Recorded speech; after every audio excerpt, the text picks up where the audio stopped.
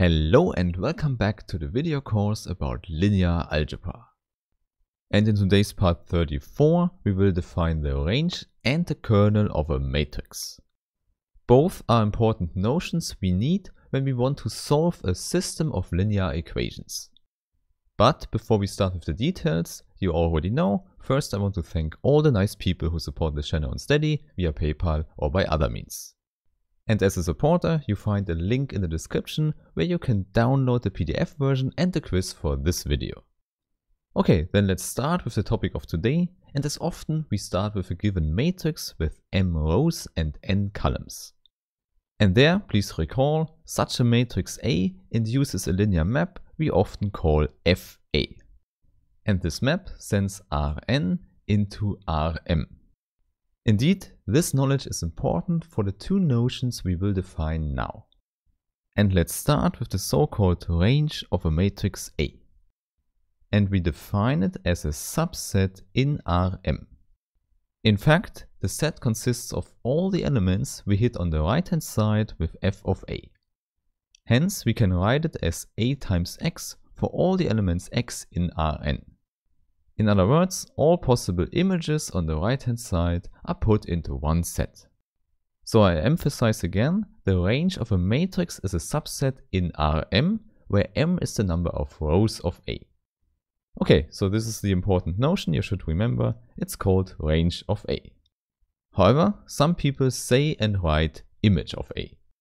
Hence, you should see, this is not special at all, this is a notion we have in general for a map between two sets. So if you know my Start Learning Mathematics series, you see this is nothing else than the range of the map FA. Therefore, essentially what is happening here is that the definition of the range is extended to a matrix A. However, now the next notion, the kernel of a matrix, is something new. Okay, now a short notation for this is simply KER of A. And indeed, as before, this also denotes a set. However, now it's a subset of Rn. So on the map level, it's something that lives on the left hand side. However, the definition is very simple. It just consists of all vectors x that are sent to the zero vector on the right hand side. In other words, ax is equal to 0. And now this subset of Rn is called the kernel of A. It's a very important notion in linear algebra and you should definitely remember it. Moreover, you should know some people call the kernel just null space of the matrix.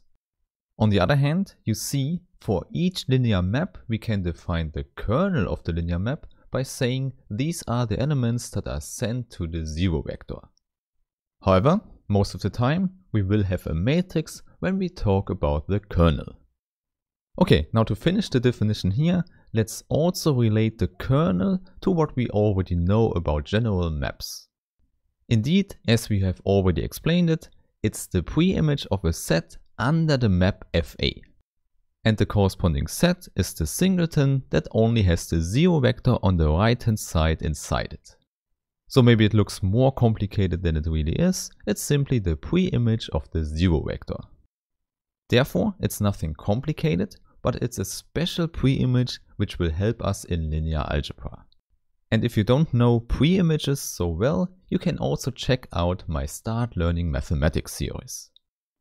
Okay, now to remember these definitions here, let's draw a quick picture. So you know we have a vector space on the left hand side and one on the right hand side. The dimensions could be different because the one is Rn and the other one Rm. And in between, as always, you know we find our map FA. So it maps Rn into Rm. And then you know from the definition above, the range of A is a set here on the right hand side. So maybe we visualize that with such a line. We do this because you should immediately remember here the range of A is indeed a subspace in Rm. In fact, this is something you can prove immediately. Okay, then on the other hand, the kernel of the matrix A is a subset on the left hand side. However, also there we can directly prove it's a subspace as well. So please remember this important fact. Both things here are always subspaces, which means the zero vector is always included. And of course, sometimes it can happen that this is the whole thing. And on the other hand, the other extreme would be it's the whole Rn or the whole Rm. Now, if you find all of this too abstract, it's no problem at all. Soon we will have a whole calculation machine where we can calculate a lot of explicit examples. And then you will also see why both notions, kernel and range, are so important for us. However, before we do that, let's first connect the range of a matrix to something we have already defined before in linear algebra. Namely, the range of A can be written as a span of vectors. There, please recall the notion span we have used to generate subspaces. And now we are able to generate the subspace range of A by using the columns of the matrix A. So we know we have exactly n columns, so let's call them A1, A2 and so on. And then we know the span of these column vectors is exactly the range of A. In fact, we already know this because we have discussed the column picture of the matrix vector multiplication. And there we learned that the outcome of the matrix vector product is exactly a linear combination of the columns. In other words, everything we hit on the right hand side with the map FA lies in the span of the columns. And now indeed we hit everything in this span, so we have equality here. So I would say this is again something where you can write down the proof for yourself. Okay, now by going back in time, you remember we had some motivation to introduce things like matrices. And one important motivation was that we want to solve a system of linear equations, an LES. And there, please recall the short notation we have for an LES. It's simply A times X, matrix vector multiplication, is equal to B. So X is the unknown vector on the left hand side and B is a given vector here on the right hand side. Therefore, we immediately see we can only solve this system if B lies here in the range of A. Otherwise, it's not possible at all to find the vector x that is sent to B. Hence, for the existence of solutions of the LES, we have to answer the question if B is in a range of A. In other words, the range tells us about the existence. And on the other hand, the kernel of A will tell us about the uniqueness of solutions.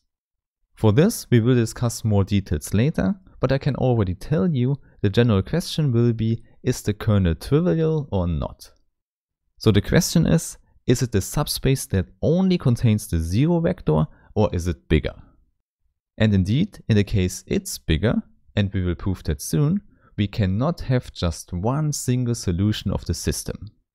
So either no solution at all, or we have infinitely many.